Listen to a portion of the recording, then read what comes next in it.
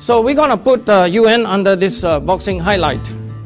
We really want to check whether what all these statements that has been said about the Arctic, the climate, and uh, of course the sea ice, which is a key factors uh, uh, signature of our Arctic region, the polar region, whether what has been said by the US, uh, UN uh, Intergovernmental Panel on Climate Change is, has any resemblance to the inconvenient truth of reality.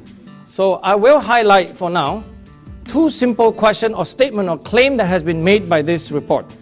The first thing is about Arctic sea ice and Northern Hemisphere spring snow cover have continued to decrease in extent. And they say this is very high statistical confidence. So let's look at it. First, spring snow ice disappearing from Northern Hemisphere according to IPCC AR5. So how, how good is that statement, right? Data shows 1965, since we have some satellite coverage, we can actually do a very good a documentation of Y area so we can measure these particular changes over time. Indeed, the spring northern hemisphere uh, uh, ice snow cover has been decreasing. But I guess the key question that I highlight down there is uh, why did they mention only spring? I hope you all know the answer, right? It's very simple. It's just because, simply because the fall snowfall has been increasing and then the winter snowfall has been increasing.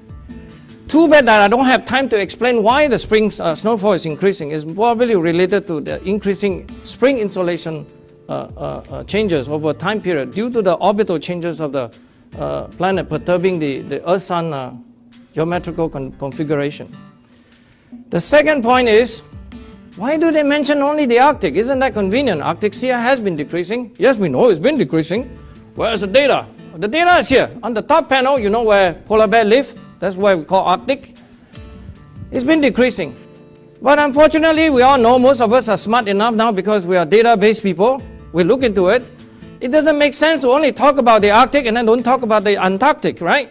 So it is that kind of stuff that make people really don't want to trust UNIPCC. I, for one, would never trust. Ask my son. Independent of me, he won't agree with this sort of statement, right? It's ridiculous.